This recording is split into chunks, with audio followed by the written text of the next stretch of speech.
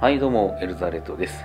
それではファイアーエムブレム風化雪月やっていきましょう。ということでええ久しぶりですね。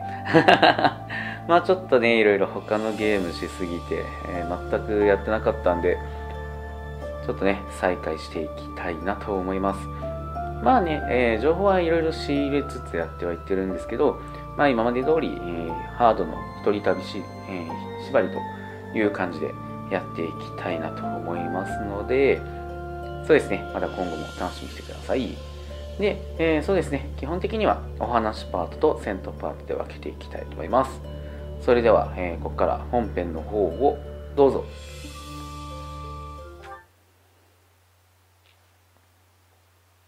白雲の章、飛龍の説、樹寺師のの。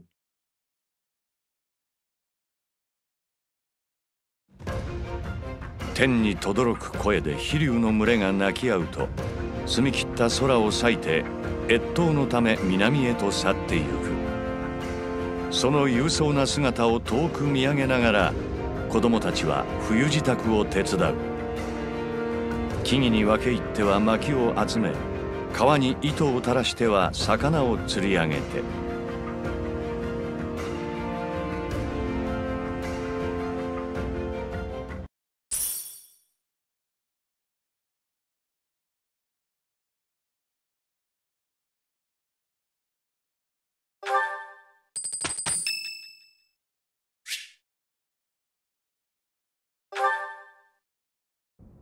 ああ先生。ちょうどいいところに。後で少し付き合ってもらえないか。いや少し剣の稽古に。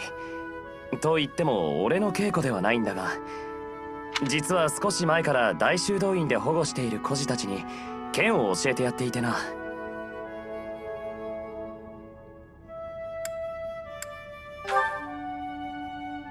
自分でもそう思う。正直子供の相手はあまり得意な方ではないんだが先日騎士団の方と打ち合っているところを見ていた少年たちがいてな。戦い方を教えてくれと熱心に頼み込んでくるものだから。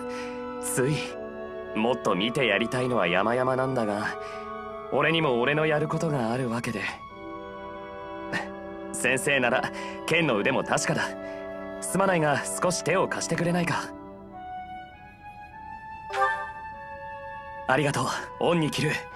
この礼はいつか必ずしよう。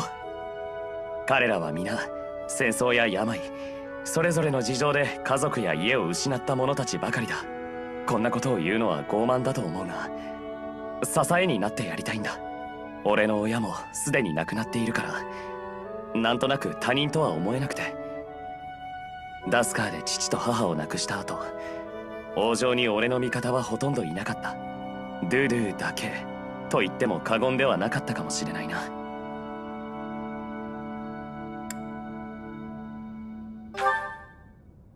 かつては気を許せる者たちもいた。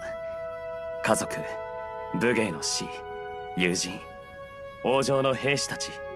だがそういった者たちは皆4年前を境にいなくなってしまったからな。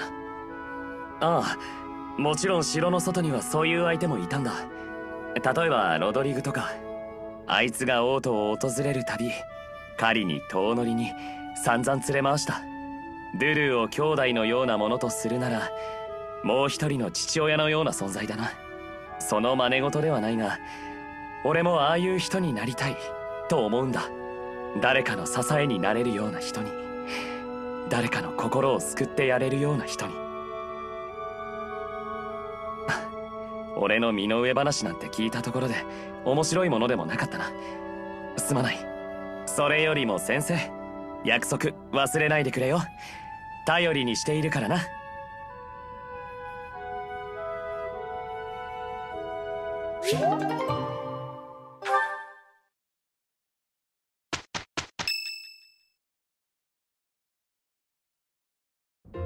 今節はいよいよグロンダーズ樹実戦か。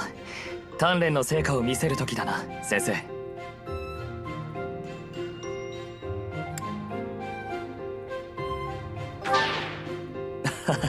先生らしいな。俺からでよければ簡単に説明しよう。グロンダーズ呪術戦はいわば大規模な学級対抗戦だ。毎年飛龍の節に開催される。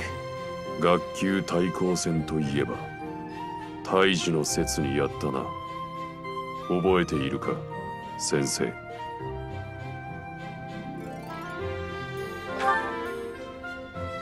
戦いの舞台は帝国領グロンダーズ平原。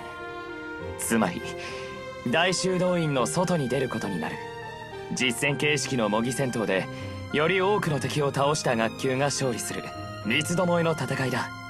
殿下今年は確かマヌエラ先生とハンネマン先生がああそうだったな。前節の一件でマヌエラ先生は参戦を見合わせるそうだ。それならばとハンネマン先生も参加を取りやめるとおっしゃっていたが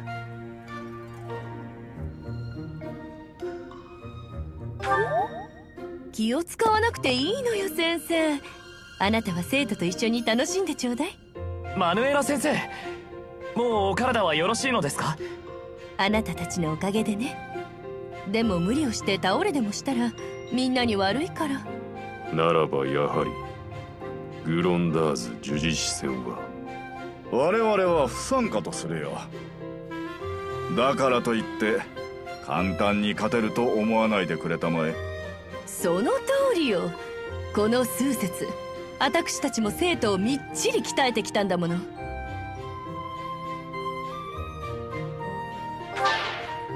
生徒に教えるべきことは全て教えてやる。遠慮は無用。全力で挑んできたまえ。まあ全力といってもね、えー、一人プレイなんで主人公一人でぶったたくっていう感じなんだけどね。まあまあまた今回も一人で戦う感じかな。深めてきたようだまあまあ上達したようだ。聞きながらと。でえっ、ー、とそうですねストーリーの会話だけは、えー、載せつつやっていこうかなと思うのでなるほど。えー、そうですねここからのちょっと戦闘であったりとか、えー余計なところはちょっと省きつつ、えー本編の方だけを進めていこうかなと思います。まあそろそろジョブ上位の職業にねつけるかなと思うんでちょっとそこも見てみましょうか。あモデル切り替えが入ってますね。それじゃあ早速、えージョブ見てみますか。資格試験だね。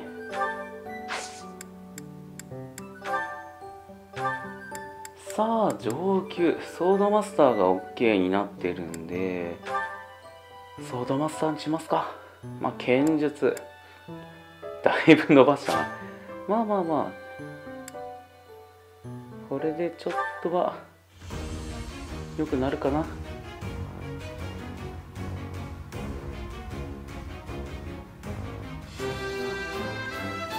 あ100%なんでね無事合格と。これで新たな道が開けた。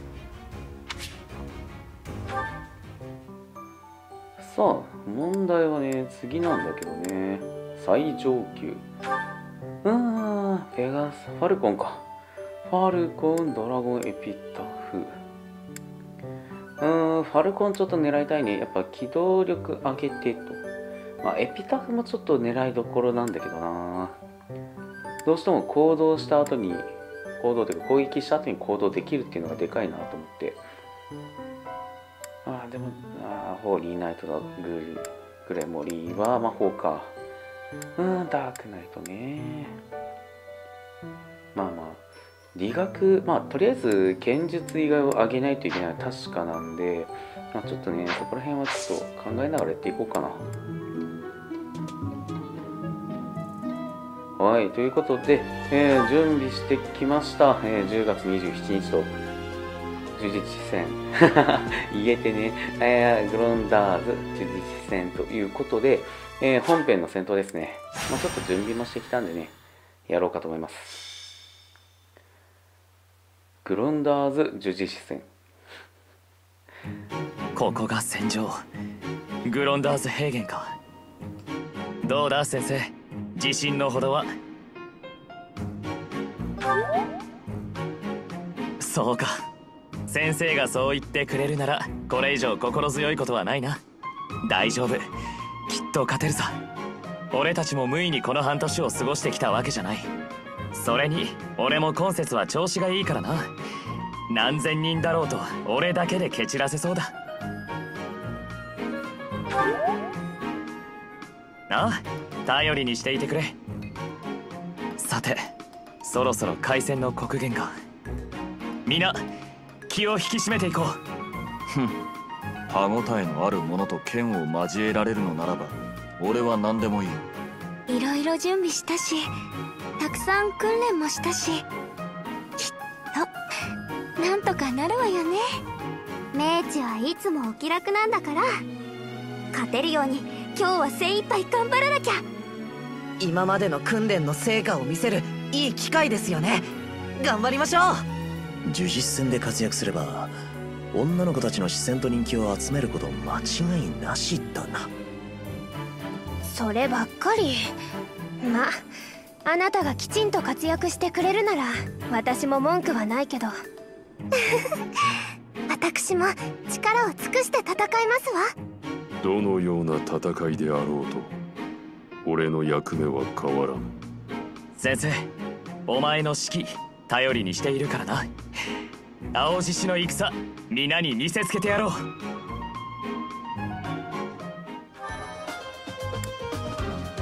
あ準備できたんでやっていきますか。えーとそうですねとりあえず頑張ろう。まあリミトリはねちょっと無視しつつやっていきますか。大いなる名誉だけじゃなく商品も出るとか出ないとかああ商品も出るんだ。さてそれいいね。婦人開始の刻限よ。みな心の準備はいいわね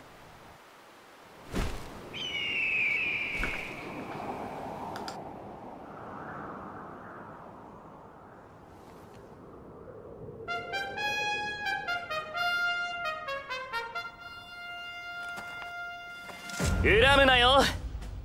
手加減ができるほど器用ではないんだ。やり方は自由だ。勝ちゃいいんだろ。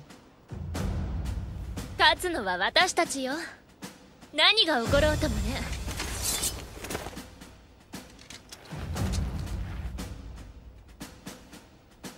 始めよう。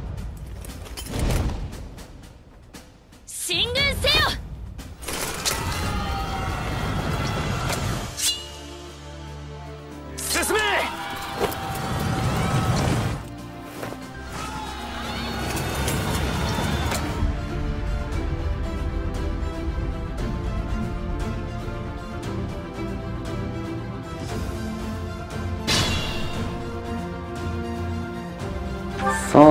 っていきますか。へえそうだね。とりあえずディミトリに攻撃が来ないように避けつつ主人公でやっていきますか。まあねターン数制限があるわけでもないんでじっくりいけるかな。えーと正面赤い右黄色とよく感じかな。向かって左だね。まあまあまあまあまあ大丈夫でしょ。うとりあえずなんかすっごい遠距離が来るから避けれるかちょっと試すか。切り込むか。あここは足んないのか。じゃあそこでいいかな。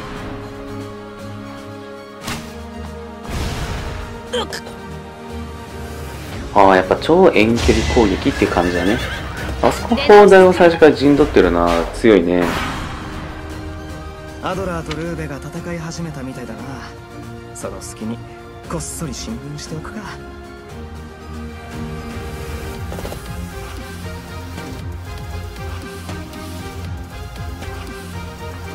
さあ同盟軍もちょっとずつ攻めてきてるね。意外とそこまで相手しなくても良さそうな気もするがどうだろうね。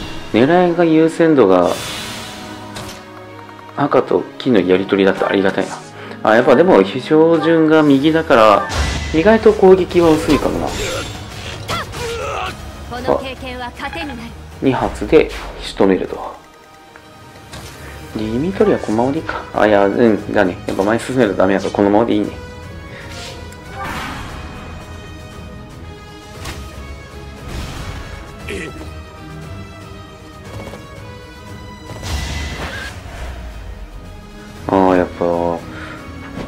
ちょっと無視していく感情あるからそこまで気にしなくていいか。僕が陣取るにふさわしい砦があるなこれはもう攻め取るしかあるまい。ローレンツのやつ勝手に動きやがって。仕方ない。中央の丘を確保して援護するぞ。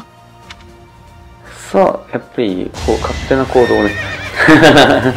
するキャラがいるとね大変だよね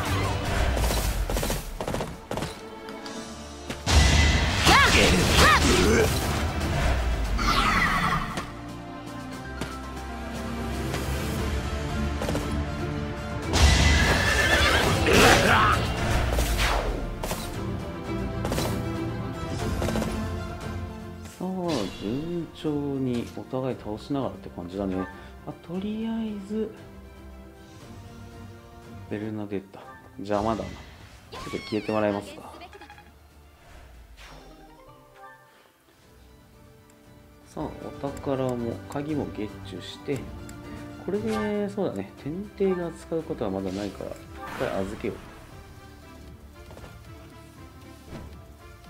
さあ意外と来ない。あ来たねこの経験は糧になるまあしっかり抑えていく。まあまあまあまあこの辺りだったらまだ全然大丈夫かな。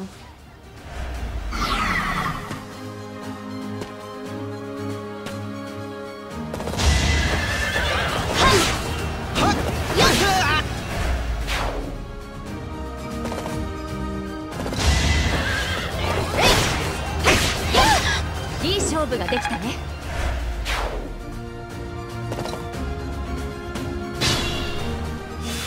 さあちょっととりあえず上野さんには始末しときたいからどうすかなイグナーツ言っていいかな？さあ槍でブス。うん。余裕やね。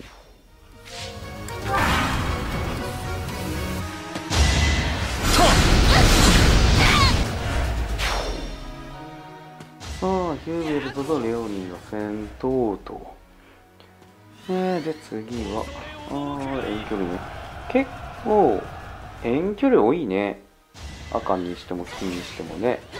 いい勝負ができたねこっち主人公で弓しか使えんしな。まあまあほぼほぼ槍とかでどうにかなってるんでね。まだ今のところは大丈夫かな。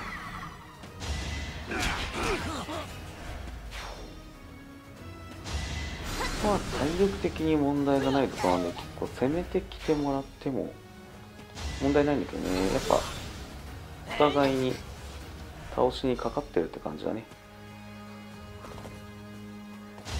マリアンヌの声は結構通ってたね。15か。あれはあれで厄介だ。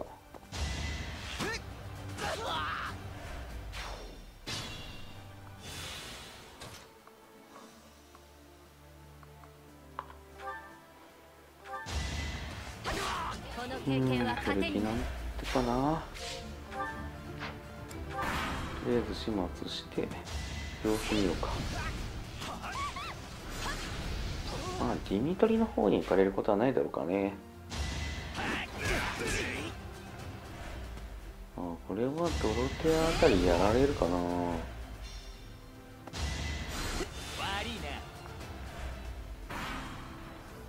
あ回復か。それはちょっと厄介だね。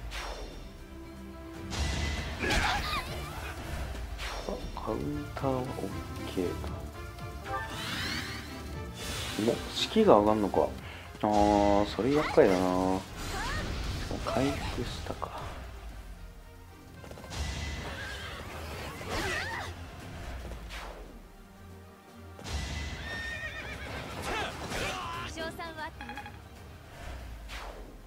さあ、避けて刺すと。うん、これで移動だけで大丈夫かな。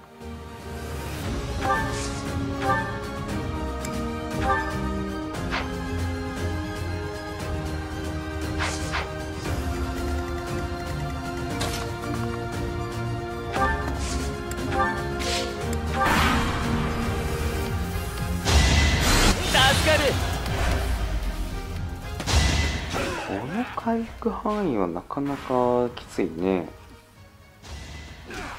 あそういう意味ではサポートについてるとだいぶ心強いね。まあでも一人旅なんでね。それは許されない。ちょっとここが一番遠か。当たんねえしな。どうしようかな。下。あここ。もう一ついけないかな。いけない感じか。さあ一旦ターン終了しておエーデルガルドが動き出した遠距離か。一マス明けか。それはちょっと意外やったな。あー反撃もできるし。でもやっぱ強いね。おお宝発見。まあでも先にちょっと倒していきますか。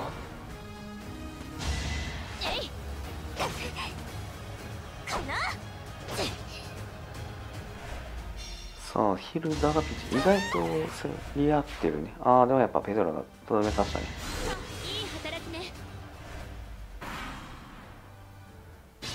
そうそう。えー、デルガルドをちょっと始末して何かとねちょっと距離取られるのが一番厄介なんで一発できんのかな。2発っぽいよね。まあやりでいこうか。2発だったら。私の前に立ちふさがるのならその血が全て流れ出るまで切り刻んであげる。少し雰囲気を出してみいただけよ。雰囲気か。なかなか言うこときついね。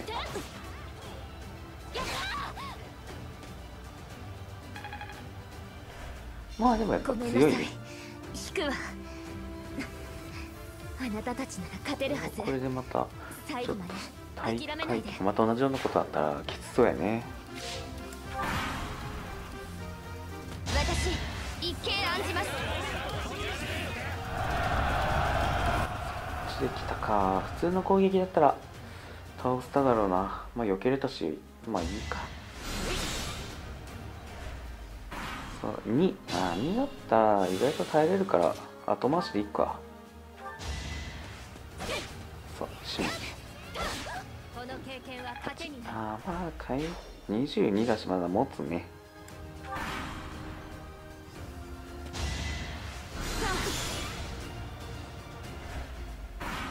さあ多分回復の方が上回ってるから。うんだね。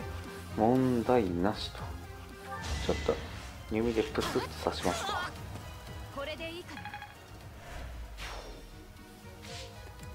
レベルもねもうちょいで上がりそうなんだけど。1回の戦闘の経験値が低いもんでね。なかなか。お宝取りか。せっかくだしね。何かいいもの入ってるかな。レアものかな。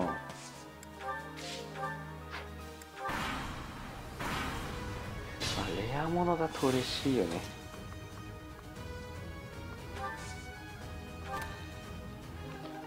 宝箱。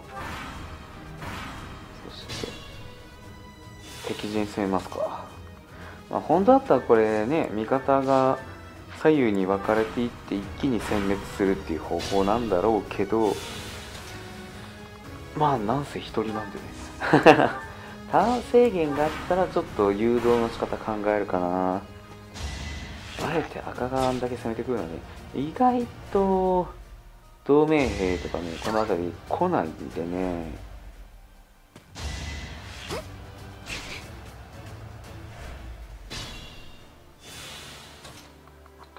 りあえず一人ずつ。一人ずつ潰していくか。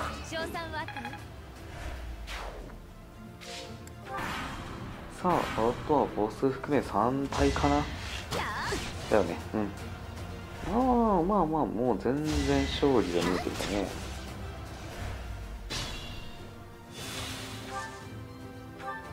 後ろ行った。かそれはめんどくさい。今弓を上げたいからさこっちとしては。弓槍か。槍上げたいからね。ちょっとおびき出すか。多分これ引っ張ってこれるだろう。近づいてくると思うしね。わざわざ多分射程内に来てくれそうな気がする。この機会にじっくり見せてもらおうか。あそういうわけなんで外周一色は勘弁してくれよ。どう？避けると。ここで来てクローズの攻撃避けてしまうっていうね。こっちが当たんのか。まあでもおかげで近づいてきてくれてダメージも相殺できたから。この経験は糧になる。峰打ちや。峰打ち峰打ち。倒したらいかんかいねあー結構いいダメージ入るね。まあ結果8のダメージか。まあやりってうん大丈夫だと思うんだけどな。どうすると0キロ。だいぶ地形な。あ避けられた。マジか。まあいいや。ああそっちね。こうじゃあこれでおしまいとしますか。ちゃんとな。残念だが手詰まりか。ヒルシクラッセは勝機を逸しちまったようだ。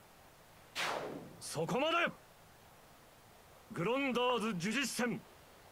今年の勝者はルーベン・クラッセとする。よし俺たちの勝利だこの戦果ならば商品も得られそうだな。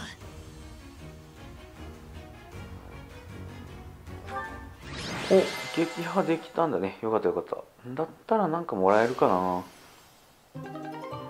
あそうだよね。MVP 一人しかおらんからね。まあ無事と、まあ、今回一発だね。やっぱこう単数の制限ないとね。敵に回したくないもんだ。あなたたちのことだからどうせ真正面から来るものだろうと思っていたけれど評価を改めなければならないわね。さすがだったわディミトリ。それはこちらのセリフだ。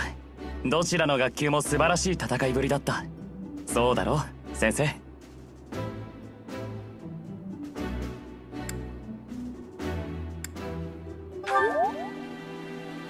先生の指揮と指導があったからこそだ。今後も修練に励まなければな。ともかく俺はこの戦いの経験が生かされる日が来ないよう願うばかりだよ。私は構わないわ。いつでも受けて立つ。なんて冗談よ。笑えない冗談はよせ。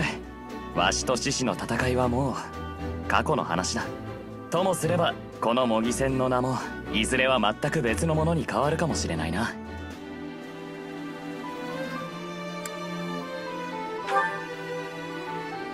憎いことを言うじゃないか。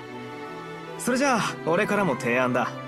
ガルグマクに戻ったら学級の垣根を取っ払って盛大に宴を楽しまないか？ああまあ食堂でだが。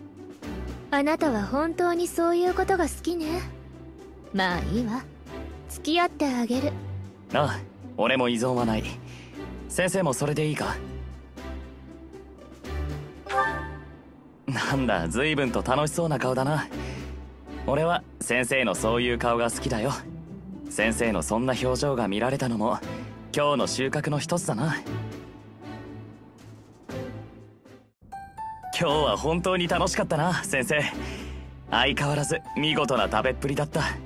改めて礼を言わせてくれ。呪実戦で勝利を収められたのは先生のおかげだ。あそうだな。だが俺たちが強くなれたのは先生の指導あってこそだ。今だから言う。先生が学級に来た頃俺は先生が少しばかり。怖かった。笑ったり怒ったりしないしかといって感情を抑えているようにも見えなかった。最初は俺たち生徒に関心がないだけかと思ったんだがそれも違うようだったし何を考えているのかわからなくてあまり人間らしさを感じなかったというか。今は違う。一緒に過ごした半年の間先生の人間らしい顔をたくさん見てきた。この学級で先生と一緒に過ごせて本当に良かったと思ってる。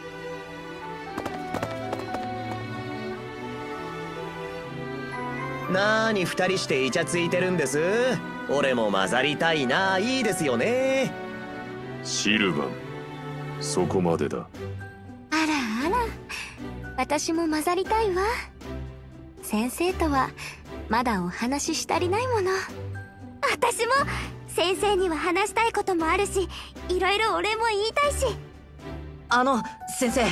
僕も先生がいたからこそここまで頑張ってこられましたアッシュの言う通り先生はもう私たちにとって欠かせない存在です。うんうん。先生がいないルーベンクラッセはもうルーベンクラッセじゃないって感じだよね。お前と共に戦うのもなかなか悪くないと思っている。私もこのような体験ができて 改めてお礼を申し上げますわ先生。そういうわけでみんな先生のことを信頼してるんだ。これからもよろしく頼む。ああ卒業まであと半年。一緒に頑張っていこう先生。さて今日はもう遅い。早く部屋に戻ってそれぞれ休むとしよう。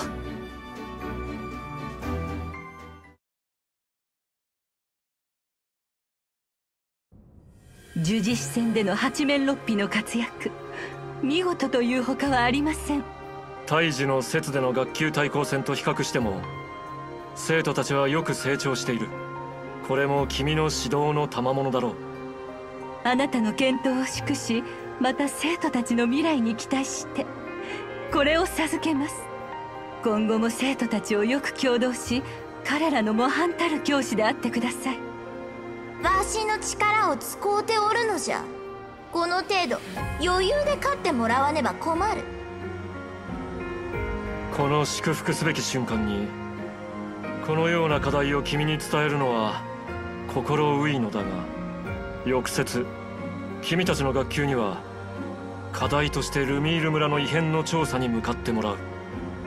ルミール村。確かお主が父と共に何度も世話になっておった村じゃな